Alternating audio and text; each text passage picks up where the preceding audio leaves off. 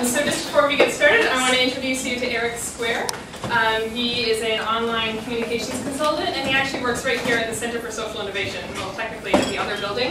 Um, we've known him for quite a while. He's a past uh, Net Tuesday presenter, and uh, he's always got great reviews, so uh, I'm sure you guys will enjoy having him here tonight. And he actually has quite a lot of experience with this topic. Um, about a decade of experience of working with email newsletters.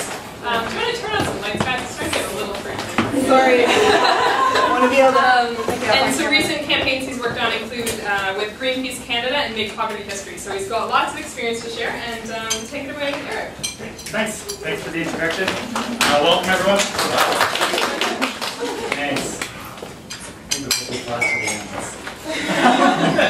As Trini mentioned, my name is Eric Squair. Yes, that is the right way to say it. Um, I worked for many years with Greenpeace, running their online campaigns here in Canada. Worked with Greenpeace International a bit. Um, also with the Make Poverty History campaign. Um, both of those organizations uh, built significant email uh, newsletters um, over a long time. Uh, and now I do two things. Uh, um, as part of Citizens Connected, I help organizations with online engagement campaigns and list building, of which obviously email is a large part. Uh, and I do Google Analytics coaching to help people uh, improve their website and their email and their social. Um, a couple of things. Uh, feel free to take notes, but anything, you don't need to scribble down whatever I show up here. I can send around uh, this uh, slide deck after the presentation, uh, including my speaking notes. So you get a, That is, that is an excellent point. I just want to mention that when you brought it up. We do send around a recap after the event with video presentation, Oh, wow. the full shebang. So rest at ease. Feel free to take notes, but uh, you will be getting. So you can get the video recap. Um, sorry, let's go back. Uh, today we're talking about improving your email, uh, broadcast email newsletters. Obviously there's a ton of things that we could cover. There's a lot of different experience levels in the room. So we're going to focus on two things. Growing your list, a few basics you want to keep in mind to grow your list, uh, and engaging your list. Uh, that means keeping people opening the emails that you send them. So we're biting off a tiny chunk of the email marketing uh, ball of wax. I'm going to start with a couple of assumptions. Um, one of them is that you're already doing some kind of uh, engagement with your list. Um, so this session is for people who have uh, an email list, be it a dozen uh, or 150,000. Uh, people already have some kind of list. Uh, another assumption is that you're writing emails. You're sitting down and taking the time. Uh, whatever you're writing, you're specifically writing an email. You're not sending out a press release. Um, you're using what's called an email management system, uh, MailChimp or Vertical Response or Campaign Monitor. So something that allows you to send out emails, uh, track the open rates, track who uh, clicks on what, allows people to very easily unsubscribe uh, or change their address. Probably more importantly, uh, change their the email address that you have for them. Um, it used to be that those things were rather expensive. I know for a fact MailChimp and Vertical Response have like free lists. Uh, I highly recommend if you're not using one of those uh, to start. Most of the things that we're talking about uh, today are difficult to do without uh, professional help. And the third is that you're paying attention to results. Uh, after you send out, you're at least taking a quick glance to see how many people opened the email, how many people clicked on it. So those are kind of the assumptions that we're moving from. Are there any quick questions about that? Anything that doesn't quite uh, make sense from what I just said? Great. All right, so everyone meets those assumptions, I hope. Great. Um, the format again, how to grow your list, take a quick break, and how to keep people engaged. So, uh, as I say, uh, there's a lot to this, to growing your list. There's a lot of uh, different things. Um, but really, there's one key, key secret. Can anyone guess what it might be? Anyone take a hazard guess as to what is the secret to growing your email list into the hundreds of thousands or millions? Yes? Good content, yeah, that's definitely part of it. That's a key, key part. Yes, at the back. telling people you have an email list? Yes, letting people know about it, telling people that you have an email list. Yeah, and we'll see just how simple that is in a moment. Anyone else? Shareability. Shareability, that's a good one, yeah. So can you say a little bit more about what that Well, like means? social media, Yeah. uh, maybe prominently enough, provide prime real estate, do uh, even call to actions maybe. Yeah. Share this. Yeah. Okay, appreciate it. Whatever. So yeah, make it easy for people to tweet about your email, to share it. Uh, make sure that there's an archive online so people can see previous versions and share those. Those are all great suggestions. None of them are wrong. Uh, you looking for one particular thing? Anything else? All right. I would say the secret is offer people something they value. It's really simple, uh, very, very straightforward. But come to think of it, how many people are on email lists that they just don't bother to open? Yes, we're all on, I somehow seem to collect a lot of them. Um, and really, uh, the key, it's, it's really, really simple, but it's clearly not easy. It's offering people something that they value, right? Not necessarily something that your organization needs to get out there, but something that they are interested in. So, what the heck does that mean? Let's look at a couple of uh, really, really uh, quick examples. I would say the first is trade something for their email. It's, it's sort of a, a basic transaction. This is um, a pop-up window um, uh, for one of our clients where they were re releasing a report on uh, toxins, um, a certain type of, uh, of toxin in a lot of household products. And it was simply when they went to go click to download this PDF report, uh, this popped up. It says, enter your email below to get monthly updates. Uh, we respect your privacy and you can unsubscribe at any time. They enter their first name, their email, and their postal code, and they can click subscribe, at which point they can download the report. Or, small, slightly smaller, but uh, not inconspicuous, no thanks, just take me to the download. And so they release reports often like this. Uh, the first time they did this, they got 700 email addresses that they may not have gotten. Um, simply because they looked at what was their what was the content on their site that people were coming for. What was their what did they have to offer, right? And so you'll find, particularly with things like downloads, um, if someone goes to the trouble of downloading a PDF from your website, they want to know more about the issue, right? Um, they're interested in what you have to offer. Doesn't hurt to ask, right? Um, it, it, goes along with letting people know that you have an email address. We didn't uh, particularly trade. They didn't have to give their email to download. We could have done that. That's is effective as well. But this is just simply reminding them, hey, we have an email list that keeps you up to date on these issues. So think of areas, and, and we're going to get into, with the worksheets, we're going to get into uh, we're going to get into specific examples where you can do this on your site. Um, this is a mildly underwhelming uh, email, but this is one of my favorite email newsletters. It's from uh, someone I use to host websites. It's called DreamHost.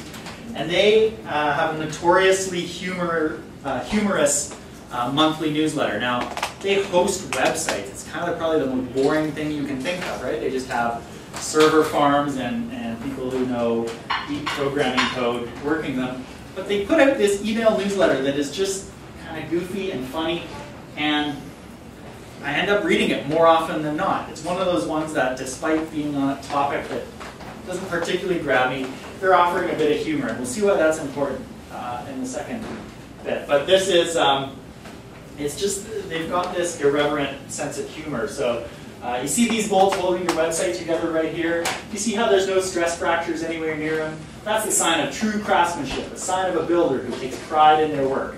Nowadays, most websites hold web hosts hold things together with plastic fasteners, a little glue, a little hype, and a lot of hope, not DreamHost. So they have this very specific, uh, kind of goofy, irreverent sense of humor, but it means that they're kind of, you know, I, I actually open it just to see what they wrote about this month. I, I wouldn't say every month, but uh, it's certainly something I don't uh, uh, unsubscribe from.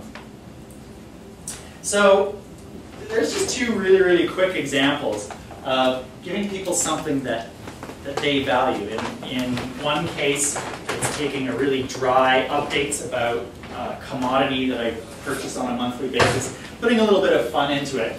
And the previous one, just, wow, if you're interested enough to download this report, you might want to stay in touch. It's offering people something that they're interested in. Does anyone have any questions before we move on? About that? No? So this, I'm hoping this is getting your brain going. I'm, I'm hoping uh, that you're asking yourself a variation of this question. And it's something, what is your superpower? Really, it comes down to, and I stole this from an organization that does online organizing in the Pacific Northwest. They're a fantastic organization called Groundwire. Uh, and they ask, whenever they're doing a campaign, what is your organization's superpower? What can you do? What can you provide that no one else does? What can you tell people or teach people or how can you connect people in a way that no other organization can? What would be your particular thing that you could offer? If you can focus on this, you, it's, it makes a unique basis for an email newsletter. Um, as we know, every organization, every commercial entity has some kind of marketing apparatus, but you have some unique thing. Um, uh, say what you want about the guy, say like Barack Obama, so I just grabbed this uh, by Googling superpower uh, in Google Images. Um, I hope that gets people's brains going. Because our next slide, quick example, this is an organization that's doing online organizing across Canada. They're called Leadnow. Anyone on their email list of alerts? Oh, great, good. And so what they offer is uh, people of a particular uh, political viewpoint, they offer them chances to get involved in politics. It's as simple as that. They've built up uh, more than 100,000 email addresses of Canadians who um, want to know about ways that they can get involved in politics. Uh, and so they're sending out these, uh, these alerts. Um, they're very consciously influenced by organizations like Avaaz um, and MoveOn down the United States. Is anyone familiar with either of those organizations? Avaaz? So um, really, they've got a whole philosophy about engaging with supporters, uh, about showing respect and about um, being responsive, but really they've, uh, they've got a very unique thing that they offer, which is ways to get involved in issues that people care about. Um, this is probably my favorite uh, email uh, of late. It's from a company uh, here in Toronto called FreshBooks, uh, and they do uh, online billing software, which again, pretty dull uh, if you think about it. What, what newsletter can they write uh, that is going to uh, excite people? Oh, we changed the tax uh, calculation ratios. You'll be happy to know that you can now bill people in Switzerland. Like, you know, I, I can't think of a more boring newsletter, but what they've done is something that we're, again, going to look at in the worksheets. They've said, what do we know about our what do we know about our supporters? Like, what do we know about our customers? Well, most of the people using it are small uh, medium-sized businesses. And so they've basically written uh, a really great um, uh, magazine set of tips about uh, being a small business person. So they've got a portrait of a customer of theirs, They've got um, stories about entrepreneurship. They've got another portrait of another customer. Um, it's bright, it's fun. Only two things mention their product. And one is become a FreshBooks Ninja. So it's a free offer to get to use their, get to learn how to use their software better. Right? It's not, you know, we are the best online software, you know, online building system. It's a really great offer because it's already powerful software um, that really helps you run your business. And here they're offering you a free webinar to learn how to use it better. So what they're doing here is thinking about their audience and offering them something of value. They could go the way of so many other organizations and talk about themselves. But really, they've made it about the readers. They've taken what they know about the readers and what the readers would find valuable and sent that out to them. Um, getting into the details, there's a couple of other things that you'll notice here. Um, and this is sort of email marketing one-on-one, is that it's, it's quickly scannable. There's not too much there. Notice there are no paragraphs longer than, I don't know, maybe 50 words maximum. Walls of text just don't work in email newsletters. People are not going to uh, read them. Uh, there's been studies done on the way that people read emails. They really don't read them. They pretty much scan them. Um, even if they open an email, you have about seven seconds before people, on average, you have about seven seconds before someone is going to decide whether to check out their next email or keep reading. So really, people are scanning quickly to see if there's anything that they want to click on. So a key, key point of these email newsletters is less is more. Keep it brief. And people aren't reading your email, they're scanning. Um, it's, it's nicely set up that way, lots of white space, bold headlines, some things that really call out to you. And one thing that I should have put in here but didn't is the fact that if you turn off the images on this email, it will still work. It obviously won't look as good. You'll lose the um, goofy anthropomorphized food in the banner. You'll miss some of these pictures and some of the other pictures. But the fact is that a lot of people will look at your email with the images turned off, and this would still look reasonably good. Um, so you could, uh, some people design it that there's a huge picture that takes up a lot of space. If you do that, um, you can't guarantee that everyone's going to see it that way. So those are just some of the basics of uh, email marketing that you want to be aware of. Um,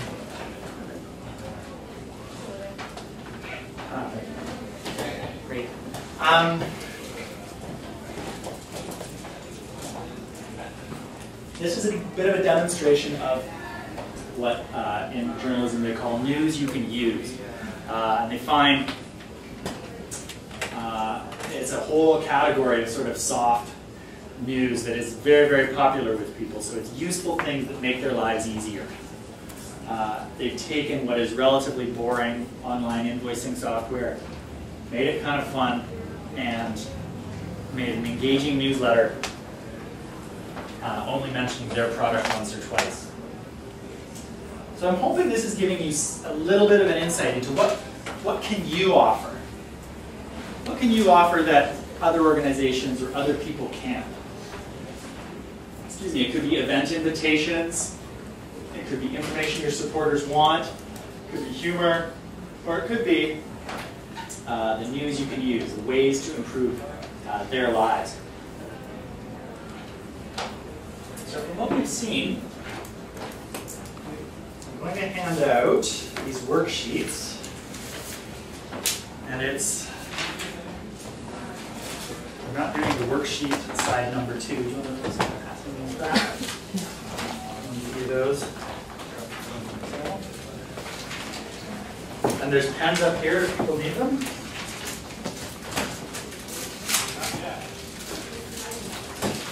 Just leave those there. So we're on the side of email newsletter worksheet, not worksheet two.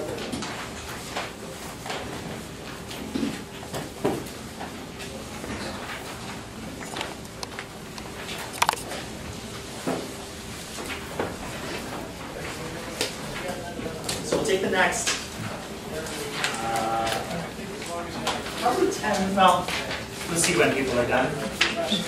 But um, there's three simple questions. Uh, there's no wrong answers. This is just simply to get you thinking, give you a takeaway from today. Um, first is, what is your superpower? What are you uniquely qualified to share with your supporters that they will be eager to read about regularly? Maybe it's links to events in the community, tips to make their lives better or their jobs easier. Describe in 40 words or less. I probably don't have to stand up here and read this. Um, so suffice to say, there's two more questions. What can you trade for their email address? Again, no right or wrong answers, um, but I'm sure you'll come up with some great ones. Um, and finally, a bit of a visioning. How will you describe in your newsletter, uh, how will you describe your newsletter in terms of the unique, amazing things you offer? So again, no right or wrong answers. Doesn't necessarily have to be how your newsletter is now, but thinking into the future. All right, everyone. Let's uh, let's hear from the groups. Who has something, who came across something that they didn't even think about adding to their email list? Does anyone have anything to share? Yeah, they were passionate about that came out in this worksheet. There's a lot of great conversations. Ask the question again. Sorry, anything that came up for you uh, from this, the things that you were talking to your partners about that you'd like to share? Yes, at the back. Um, I was chatting with Leslie, Mhm. and she mentioned that uh, unlike other organizations that are based out of Toronto, hers is nationally partnered. Okay. Um, so there's a sort of a, a greater depths of experience that people can say, oh, I don't know Toronto, but I know Winnipeg, I know Vancouver, I know, you know, so there's a bunch of different kind of entry points for people to engage with the newsletter, and that got me thinking about how we could list screenings for the film, like, because I work for a film production company, Mhm. um, and we don't list upcoming screenings on our, on our, uh, email, Mhm. uh, newsletter, but we could. Mhm. And so people all across the country could say, oh, there's something happening here, and that in turn might make it more likely for them to reach out and say, you know, we're holding a screening, can you put it on our newsletter next month? So that, you know, just drive that kind of engagement back and forth, Mhm. yeah. That's a good point, sort of, um, we'll get to it, but uh, I'm trying to shoehorn it into the broad idea of showing people, right? Showing activity that's happening and sort of uh, showing, leading by example uh, that things are happening. Thank you. Anyone else? Yes. Um, it, it was, again, she really helped me, um, focus in on those things that are interactive for my audience. So things like, um, exercises that they can complete, quizzes that they can do, to kind of bring them into the experience. Yeah, great. And what, so you have those on your site already? I have them actually on my site, and I think I would take them off my site and put them through my newsletter. Right, great. Yeah. Thank you. Yes? I don't know if now is the right time to talk about it, but we're uh, talking about newsletters versus one-off, you know, here's an issue, you should know about it now. Yes. Um, We actually, our organization doesn't do a newsletter, we just, we have member alerts, we have quite a few promotions for courses and so on. Great. Yeah. Um, And I don't know what studies have been done contrasting those different ways of communicating, or if they've For sure, so there's a whole, there's a whole, um, in the email marketing uh, community, there are people saying, should you do this kind of regularly scheduled monthly e- or quarterly, in this case, email? Or should you wait until you have a single issue to tell people about and just send an email that has one focus, one what they call call to action? Um, not necessarily regularly scheduled, but it's timely, right? And that's an entirely valid way of doing things, right? I know that a lot of people are concerned, oh, well, we need to pull something together because we send out our email every two weeks or we send it out every month, right? How about simply, you know, a note that has one, the most important thing that you, that your audience wants to hear from you that month, right? That is probably just as valid. Um, and so it's that, it's more that model of, we don't send out a newsletter, we send out notes to our, to our audience, our supporters, right? That can actually be even better.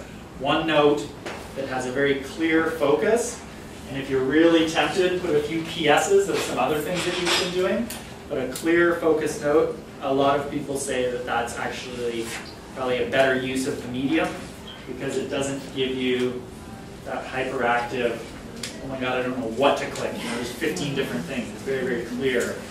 Um, so that's what, that's this model, right? Everything here is about one thing. In this case, it was events about rallies around um, electoral uh, shenanigans.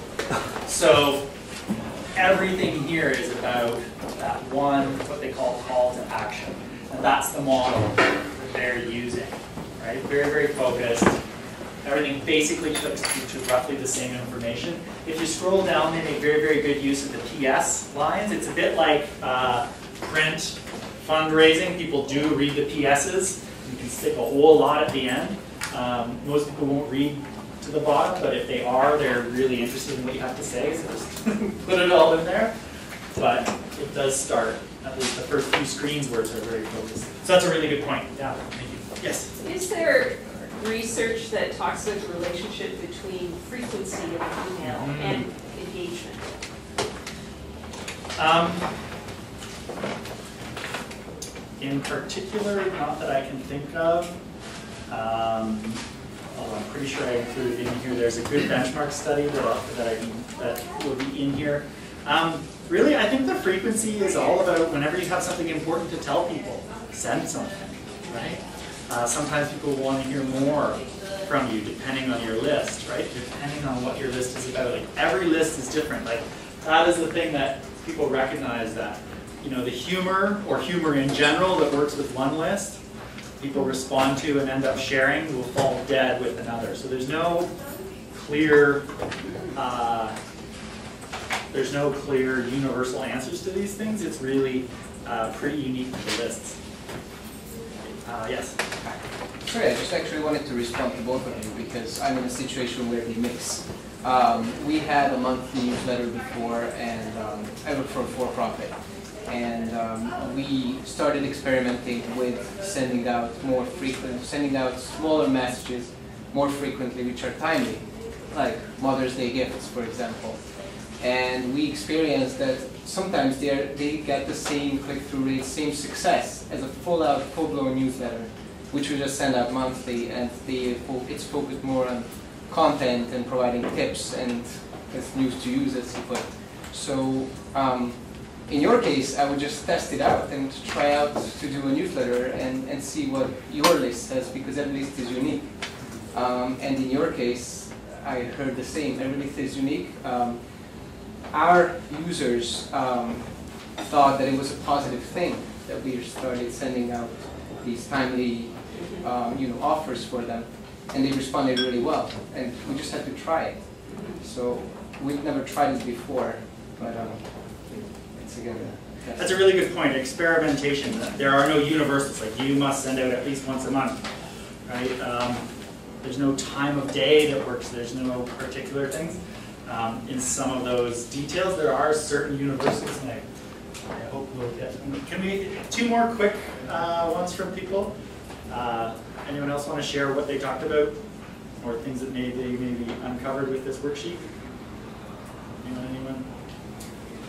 Yes. Yeah, um, I mean, I've, it was, I like what I enjoyed because you started to share this with us. Is we've always struggled. Um, we're a provincial art service organization, and and so um, have struggled a lot with who our audience is Mm, right. because it's it's very broad. It's professionals and amateurs. It's organizations and individuals and this sort of thing. And and so we're you know trying to reach as many different people as possible. And and you know one of the things I like to think we do well, and I've been told people appreciate, is we do that sort of what you were talking about in terms of very short things that drive you know mm-hmm. that sort of things. And I'm trying to, th- and, and the idea that, that this is percolating, when you ask about superpower, is that maybe maybe being you know really you know super curators is is is it. Yeah. But that's that's the solution. That, that you know we're not going to try and, and speak to each of these different audiences in general senses. We're going to be we're going to curate well for each of the audiences. So. Yeah, no, that's a, that's a good point. Uh, Recognizing that um, you have a, have a broad audience. We'll get, uh, a few people on the surveys asked about segmentation, which is basically sending to not your entire list, but segmenting your list based on a few things. And we can touch a little bit on that um, near the end of the presentation. Uh, Is there anyone else who's dying to share what they learned or just interested in sharing uh, what this brought up? Okay, so we're, we're two minutes from the break, a couple minutes from the break. I just wanted to bring in two things when we're talking about, um, when we're talking about uh, list growth, there's two little tricks that I think uh, I needed to mention. I'd be remiss if I didn't before the break. Um, and one is the concept of landing pages. Um, the idea that, I mean, uh, some people will put a, sign up for my email list, a little blurb, and leave it at that.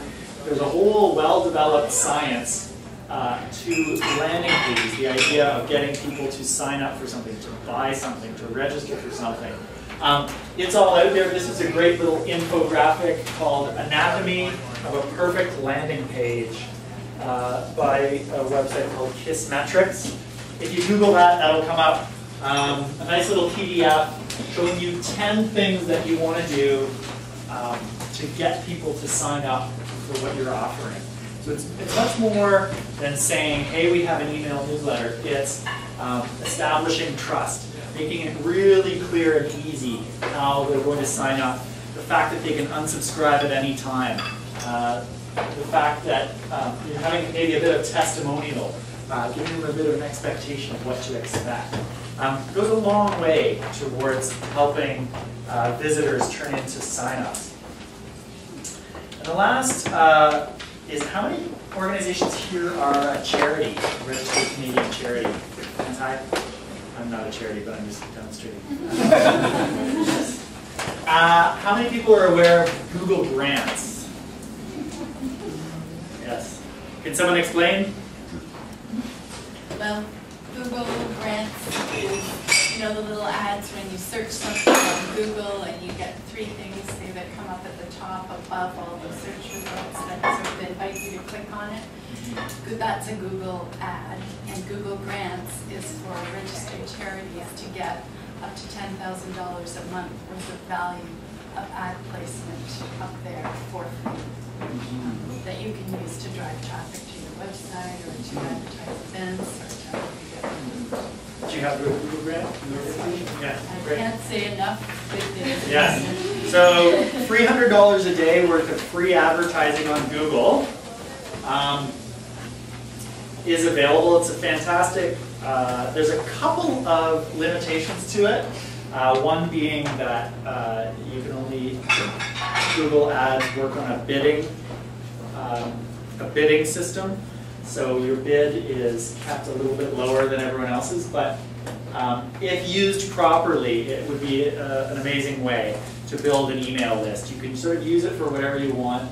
Um, $300 a day worth of advertising, sending people to your site, if properly done, can grow your email list um, quite quickly for free. Uh, it's an amazing grant in that you apply for it once, and as long as you keep using it, uh, it gets renewed indefinitely.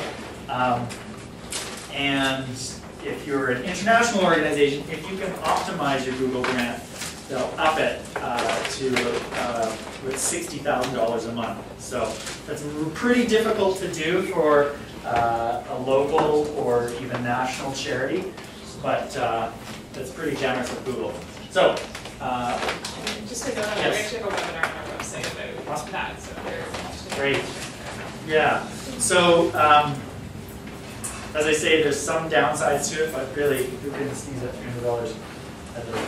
Um, so after the break, we're going to look at keeping people engaged. Some of the things that you're going to want to do uh, to make sure that once you've grown your list, people keep opening the emails that you send them.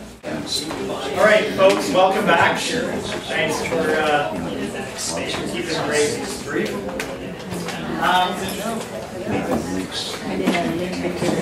so if we first looked at building an email list, now we're going to look at keeping people on that email list, making sure it's not one of those ones that people ignore. Um, and here's the sad truth. This is a great study, um, especially if you're in the nonprofit world.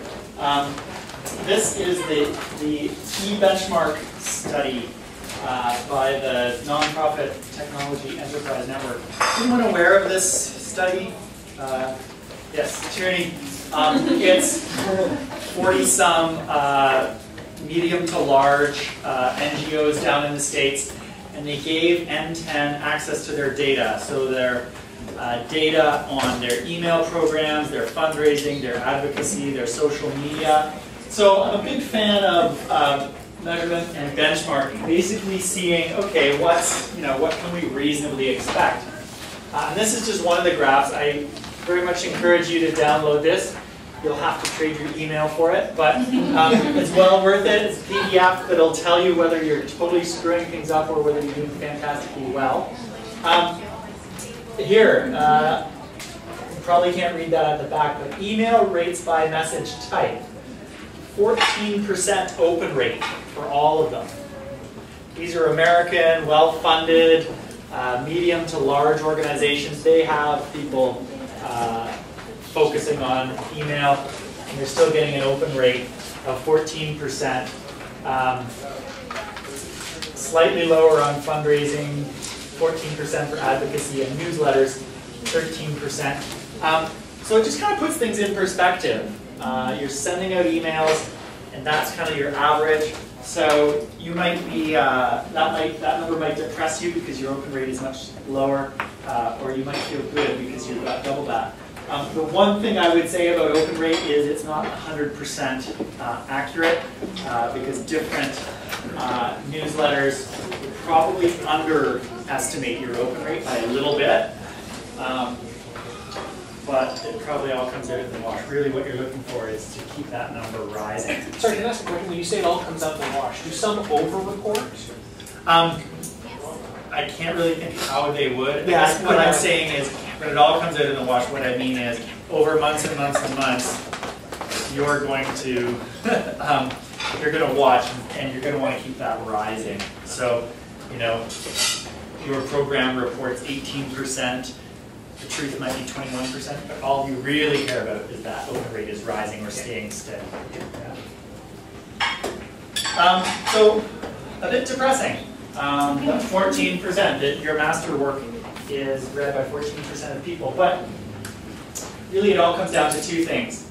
Uh, open rates depend on two things, the subject line of the email, so uh, how timely it is, how enticing it is for the person. Does it say something uh, to them? Um, does it entice them at that moment? So that is a bit of an art and science in itself. And the second one is much, much bigger. And it's really the previous experience with the sender. Do you ever notice, say, people on your, uh, your company listserv, and there's, there's a listserv in the building here, there's some people um, who you just don't rush to open their emails, right? Because they'll tell you, oh, who's going to ham sandwich for lunch from the from the lunchroom, and then they'll send three more saying, who took my ham sandwich from the lunchroom? And you just realize, okay, that person doesn't really kind of respect what's going on here, right? They don't really respect my time. Flip side is there's people out there who will write a great email, it's really clear, it's got a good subject line, and the last three of them that you've read, you're like, yeah, that person gets it. And you're far more likely to read it. It's the exact same way with email. And here is a really, really important thing is that you need to, uh, you really, really need to pay attention to this. Don't send crap, right? It's so, so hard because we've got these organizational imperatives that like, hey, we spent months on an annual report and it's got, you know, graphics in it. We need to send it out to our list. That might be useful, but it might not be. And if you're sending crap, you know, you, you don't really have that many chances to redeem yourself, right? People will stay on your list, they may not unsubscribe, but they won't open it. So you really need to really guard, guard the email list and that open rate very, uh, very seriously. You need to think of how much value you're sending people. Um, does this, does this trigger any nightmare scenarios for people? Anyone? Anyone want to share? Unburden? Um, Yes? We won't name names, but real safe here. Yeah, I, I think of it as in, in terms of, you know, especially when you get a big, big list, a lot of different people in the organization feel, well, we've got 150,000 people on our list, we've got to tell them about X. And yeah, but that's a bit like, you know, something you're excited about that you tell someone at a party and you just keep going on and on about it and they don't really want to hear it and they kind of tune you out, right? It can happen with your email list and it's so easy because there people are getting a lot of emails. So if there's one slide you take away from this whole thing is that your job as a as someone who grows and engages email list is to jealously guard it so that crap doesn't get sent out. And the biggest bigger your list gets, the more pressure there is to send crap, unfortunately. Yes. Um, so, my experience um, is that I run a group called Blue Drinks, and so it's kind of like green drinks, but for people who care about water. Uh, the thing that I offer is that I just send out invitations once a month to come drink, basically. And uh, and so I am tempted to share other news items with this group. And I'm a bit like torn about how much to share, like whether there's a new document that they might be interested in, or maybe there's another event that they might be interested in. But sort of, they originally signed up for Blue Drink, so I want to keep it very focused on that. But sometimes what I do is like send out the invitation and then like kind of do PS items Sure. to like other things you might be interested in. But I was wondering if you had any advice on I guess it really depends on if I get unsubscribes or anything It's like unsubscribes, I don't think there's a problem with that as long as they don't have to read six things before they get to the invite. Right. I don't, I don't think there's any problem with the PSs, as long as you really value them and you actually want to share them. I think that's fine. Hey, I found this really, really interesting, you might as well. That's the right motivation, that's not crap, right? Like you know that audience, you can describe them pretty clearly, Yeah. right? So that's an example where kind of go with your gut instincts, right? It's like you know what they signed up for. They go to those drinks because they're interested in talking about a particular issue. You've kind of got it made, right? Like there's there's you know you can tell really really quickly what they're going to be interested in. So I mean, don't turn it into a 55 item list. But if you found something really great that you want to talk to people about, I don't think that's a problem. Um, and it gets to a little bit of what we're going to talk about um, in a moment. Um, anyone else? Does this bring up the idea of list of use or uh, not sending crap, or what I call robot army? Um, people that get a really like a six-figure uh, email list, and they think that that that that's there for a robot army that is willing to, to do their bidding, and all they need to do is send out a list, and, and we put- we'll activate this robot army. And it's the wrong attitude, the wrong attitude to have. Um, anyone else? Yes. So let's say, just for fun, you actually have a robot army? well then, come talk to me afterwards. Definitely interested in a robot army.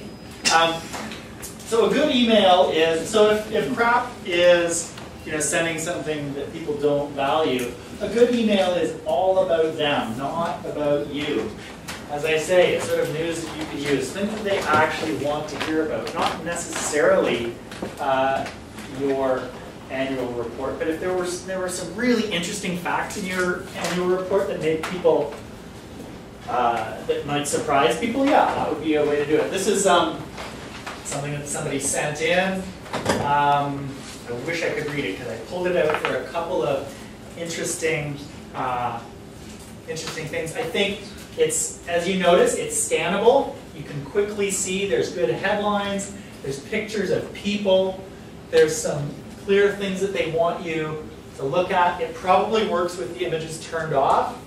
Um, very, very clear, short, brief, and um, yeah, so they, they include an online survey. That's something that, you know, acknowledges that they're there. A really, really good idea, right? You can learn things about your list. Just ask people. Ask a question every email list or email, email that goes out.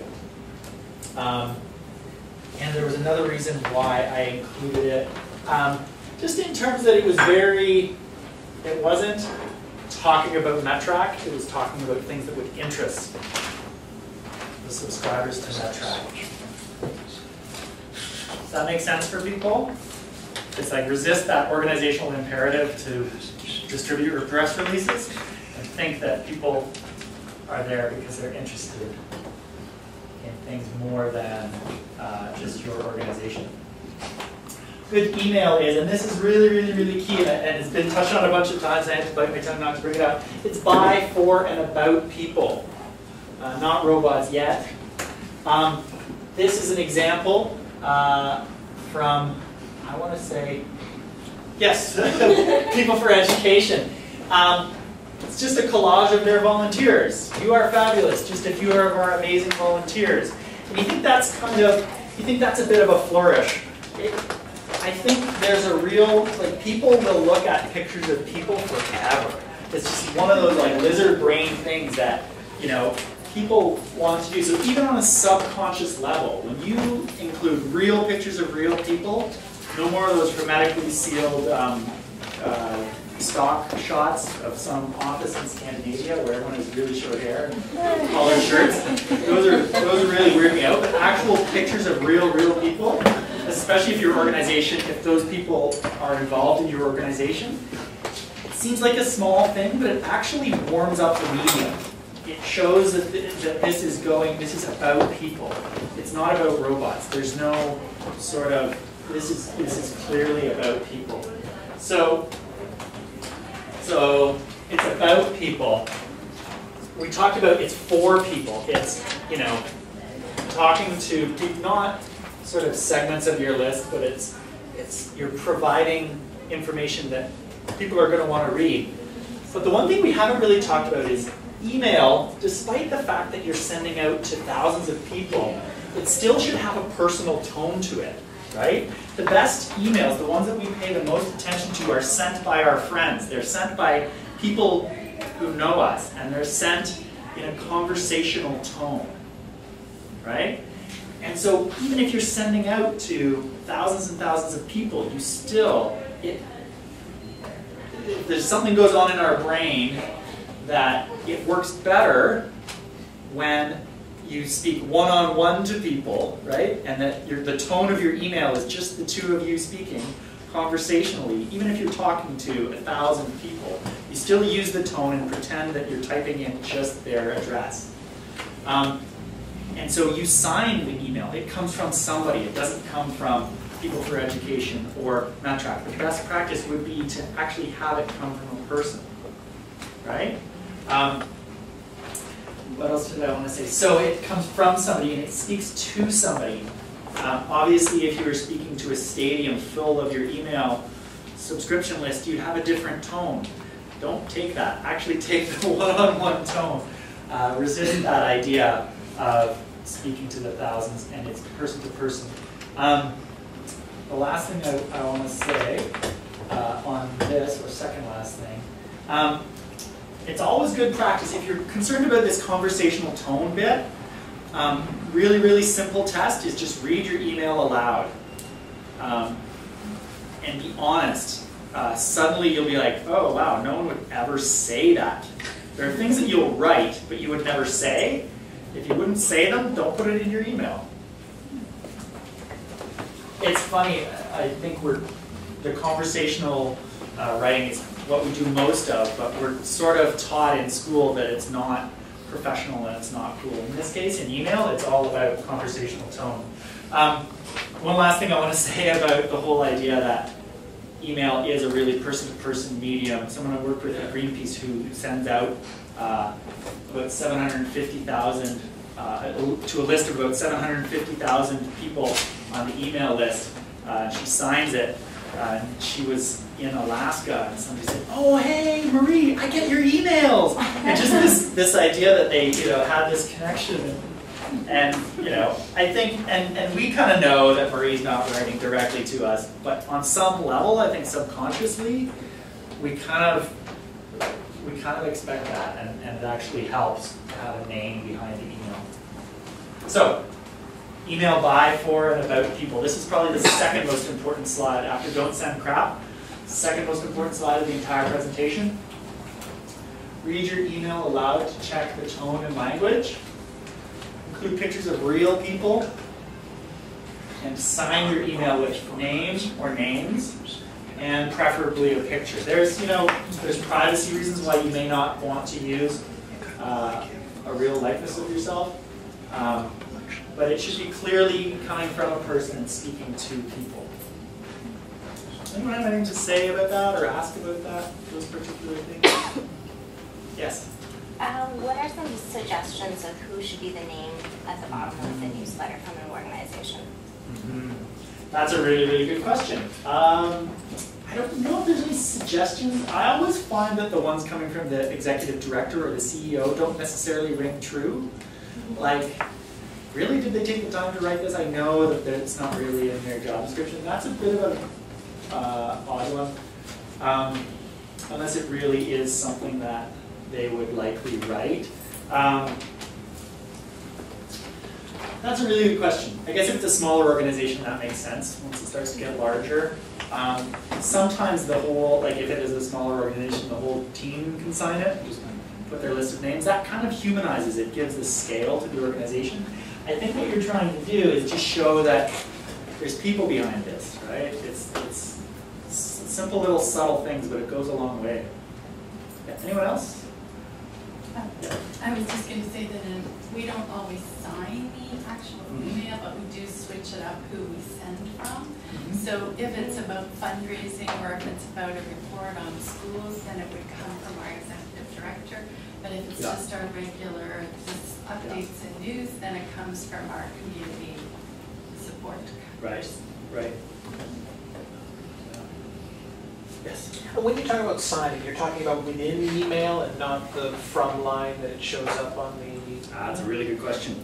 Yeah, because I, I again, that's something else I've struggled with, and I keep coming back to that when all's said and done, they know the brand more than they know us. Exactly, yes, yeah. So does everyone understand the difference between the from line that will show up in the, Should that should stay relatively consistent. Some organizations are putting in whatever name, whoever's writing that email that month. I don't think that necessarily works because you have no sense of who it is and our email boxes are so, so the, the from that shows up in their email program should stay the same, but just once they're reading the email. So one of the most powerful ones that we had uh, at Make Poverty History was uh, a Colombian uh, priest uh, who was coming up and doing a tour of Canada um, uh, Canada was pushing really hard to do a uh, to sign a free trade agreement with Colombia, despite the fact that there were massive human rights abuses and a lot of them uh, real, real problems with uh, uh, human rights abuses in Colombia, and they just weren't being addressed.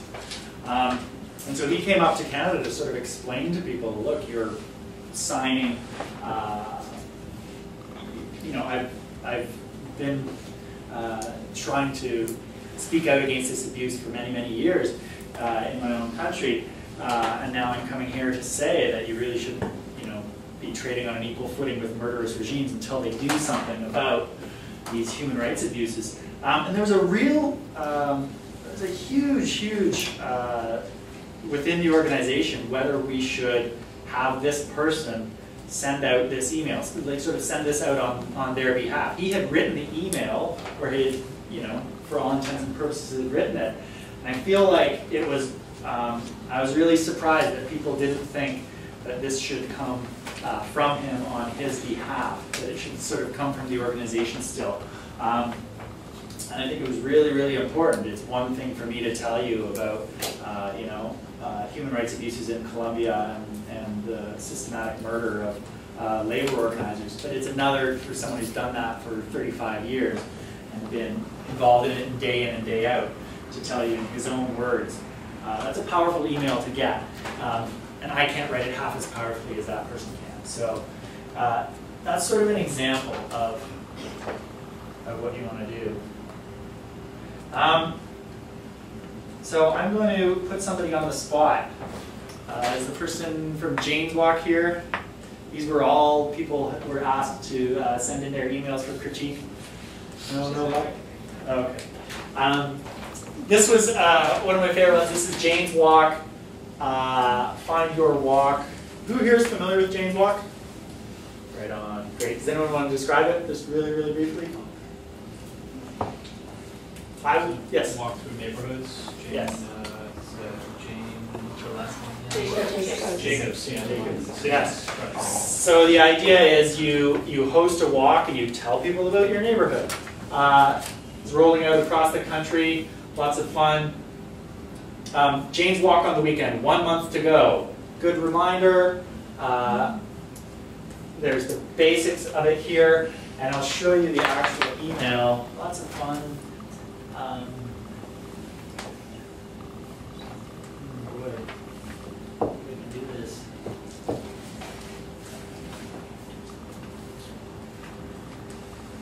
So there it is, one month, one month to go.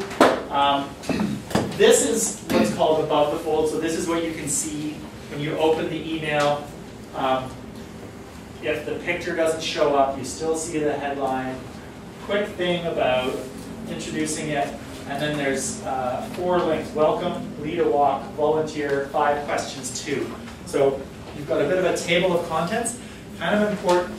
Um, and depending on the email program, you can click those and go straight to pictures of real people. Welcome to our new walk leaders and city organizers. So you can read more. of this picture, lead a walk. It's a bit of a call to action, as they say. Um, there are already over 150 walks posted on our website, and more are published every day. If there isn't one yet in your neighborhood or on a topic important to you, why not lead it yourself? Again, pictures of actual people doing or participating in Jane's walks. And as you can see, very easy to scan, right? Headlines, short text, pictures. Volunteer with us, even clearer call to action. Hey, come volunteer. Here's somebody actually doing it. It's, it's a subtle thing, but it's almost like proof of concept. They call it social proof. Here's somebody else doing what we're asking you to do. Has a really measurable impact on how many people will actually take up the ask. And then five questions too. We sat down with Chris Winter, uh, who was right there at the beginning of the Jane's Walk adventure, read on to know more about his encounter with Jane Jacobs. So, real people. Uh, Cheryl at the bottom. Easy to unsubscribe, easy to forward. Yeah? So you can see how some of the things that we're doing. People are on this list because they want to know when Jane's Walk is. Um, you probably can't send them enough reminders because uh, you don't want to miss it like I did this year. Um, yeah, that is what I would say about that. Questions about that one? Do you think um, people would bother reading that first paragraph there? Because I feel like I would skip right down. Yep. It's a good question, although you do know, you do know that later you would keep it for reference. Okay, when is it again? It's in the headline. Um, Yeah. but you're right, that's, that's approaching too long, right? Maybe not enough white space. We can complain about it because we're not here. Uh, maybe a little more white space, even a little bit shorter. Maybe some of the key dates, although they're there, so that's okay. Yeah. Anyone else? Things that they noticed from this? Yes. I mean, this is a more general question, I guess, but I find that our newsletter is really, really, really text heavy. Yes. Um, and there's not very much white space and there aren't Yeah. pictures of people Yeah. and the pictures that they do have are pictures of trees and it's actually pretty demoralizing to hear all this. But aside from that, how can we sort of shift away from the text heavy and the Yeah. pictures of nobody we know and that kind of stuff Yeah. into a more like dynamic model, Mhm. you know, like is there Yes. is there a step that we could take or Um, maybe two or three? First, you need to want to change. I mean, the people in your organization need to recognize what a good email newsletter is, right? That they don't have to be stuffy uh, writing on at length. If they're writing too much text, remind them that all that you're really doing is writing really short teasers to content that is on your website, right? You don't have to get it all in the email. It's like a short teaser that gets people to come to your website, right? Remind uh, people who want to stay with the status quo that people don't read emails, they scan them, right? So they're not going to read every word, they're going to quickly look for things to link on. Even websites are that way, right? People actually don't read, sit down and read websites. Um, some of my older relatives do, it's actually kind of interesting. They, they anyway, I'm getting off topic, but um, just remind people that it needs to be scannable. It's actually links to your website. Um, pictures of people in your organization or who are involved in your organization or who could plausibly be, you could plausibly claim they're related to your organization are actually valuable for way more than just your email. So it's actually a really good idea to, to keep them. It's something that not enough organizations do, is just sort of keep a camera handy to get those moments. Especially if you're a not-for-profit, you need to show that you're dealing in the world of people. So it's sort of taking the, it's, it's taking the pictures when they happen. Um, But yeah, for keeping it shorter, just remind people you're sending them to their website. Um, As I say, I'm a huge fan of Google Analytics and, and uh, mixing email newsletters with Google Analytics can tell you a whole lot about what people do after they click on this. Um, I think we're running low on time, so a quick one that we sent out during Make Poverty History, um, when I was at Make Poverty History. So a good email is based on what you know about the recipient. Nancy is in like such a sweet spot because she knows exactly why people are on her email list. She knows what they're interested in because it's such a good segment, right? You really can't go wrong with sending out things to that list. In this case, this was um, an email that we sent out based on where people lived. And it was based on what riding they were in. And it was because there was a parliamentary committee that was studying how Canada was going to deal with poverty. How and if uh, Canada was going to deal with poverty. What Canada's national poverty strategy was going to be. So we got uh, the people on our list who were in the ridings of the people on that committee. And we explained to them, hey, look, um, because you live in Souris Moose Mountain, you have a special chance to help make poverty history here in Canada. We went on to explain to them that their MP, right this week, was sitting in Ottawa deciding what the government's response to poverty was. So that was far more interesting for people to, to reach and much more useful for us because we got them to get in touch with their member of parliament, right? Uh, the member of parliament suddenly hears from people in their riding about something that they didn't, you know, know anyone was paying attention to. Um, and so what allowed us to do that, and it was the most powerful use of our list, um, and we used that time and time again, was a segment, and it was a simple, simple thing. We asked for only three things that you had to give. The rest is all uh, almost irrelevant. Ask for it, but you don't require it. First is obviously the email. Second is the first name, so that, remember you're speaking person to person. You don't need the Mr. or the Mrs., you just need the first name, right? You're on a first name basis with these people. And the third is a postal code. Um, ask for the postal code because if you, if you know where somebody lives, you can tell all kinds of things. Uh, for most of the work I do, it's about uh, political boundaries, uh, federal wards, provincial wards, uh, municipal wards. But if you know those three things, you can tell a lot about people. For instance, um, if you get a big enough email list and you want to hold events across the country, it makes it dead easy. Uh, you're sending based on postal code, and in the subject line, you're mentioning their city or a town near them. And all of a sudden, they're far more likely to open that email because they know, hey, wait a minute, you know, uh, this is not going to, this same email isn't going to everyone across the country. This is mentioning my hometown. I'm going to open that, right? So it's that kind of segmentation um, but that's probably, in my experience, I've found the most useful. Postal code can even be looked at for things like income level. So um, for any of you fundraisers out there, oh wow, these people are from, from uh, prime candidates for fundraising. Um, people are not. Um,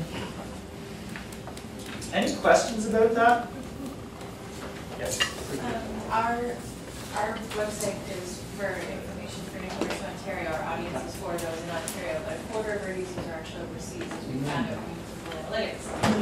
So the postal code would be an issue, but possibly putting a city, but being able to make it personal, but how would we incorporate that, like one quarter of our users? One quarter of your users on your list are not. No, from our website, just alone, I don't know if it would list itself, but Yeah, how would we make that like? you can, you can put a not in Canada. Yeah.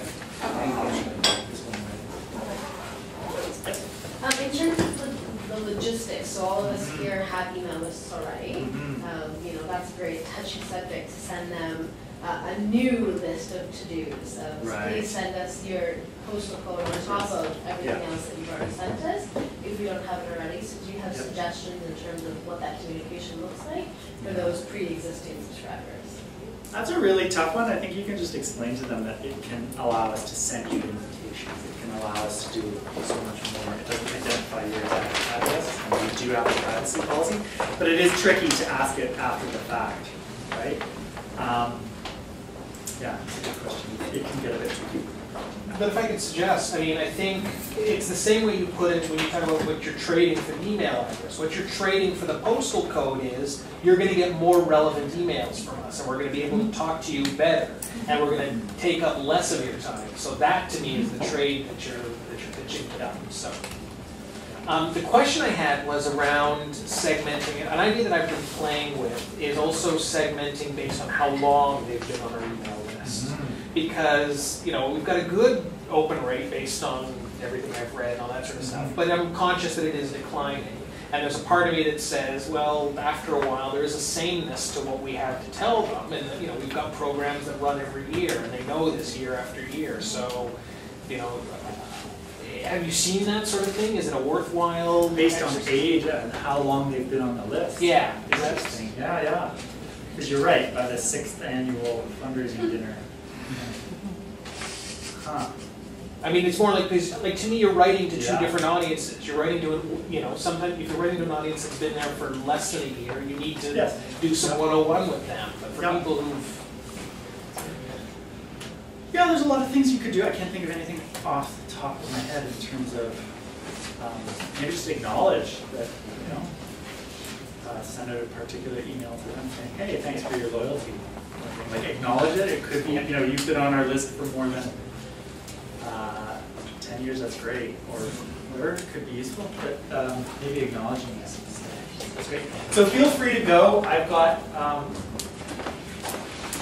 two slides left, one slide.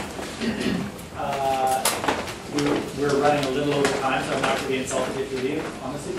Um, Segmenting subscribers based on behavior, that's, that's perfect. Uh, A lot of the better email management systems will let you say, okay, I, I will make a subgroup or I'll make a segment of people who have, say, clicked on this link.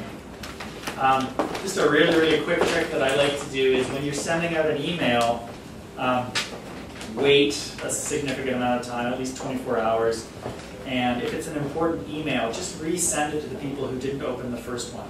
Change the subject line a little bit and resend it to them, and you'll get another, you'll get a bump in your open rate, uh, usually another 50%. So if you had 20% the first time, you know, uh, you'll get a whole bunch of people. You also get some unsubscribed, especially if you don't change the subject line.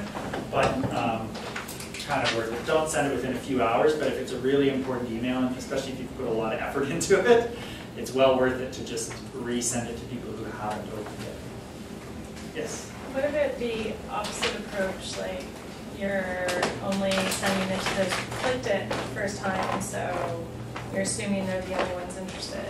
Or, you know, like, is it, is it a better strategy to cast a wider net, or do you just keep focusing in on the ones that, that actually open the first time and then just keep? Yeah, I mean, if it's, if it's important, I just like the idea of like if you slave over an email for a few hours, and you don't get the, it's just so easy to resend um, to people who may have missed it the first time, the timing was off or whatever. Um, uh, You obviously wouldn't want to resend the email to people who had already read and clicked on it. Um, You can do a follow-up. There's also ways to automate um, things that if somebody clicks on something, then they automatically get this follow-up email. That is a useful thing, so deepening engagement with people who you know are interested. Yeah. Do you find that it works better, that there's certain times of the day or certain days of the week that work better Yeah. for sending emails? You know, um, most of the things that I've ever worked on, it's office hours, obviously not Monday morning. Uh, Friday afternoon is not great. I've heard Thursday evenings. I know for social media stuff, it's like Sunday night is surprisingly good. Kind of depends. Um, I would, I would, I would say not first thing in the morning, um, not first thing Monday morning. Look at your analytics and see when people are opening It's obviously one, one way to do it. Like you'll see a spike in when people open and when your website traffic comes. Um, yeah, and, and every site that I've ever worked on is at nine, like they get, the traffic is nine to five. I don't know what that says about email, but I, I think a lot of people don't like to open email after hours.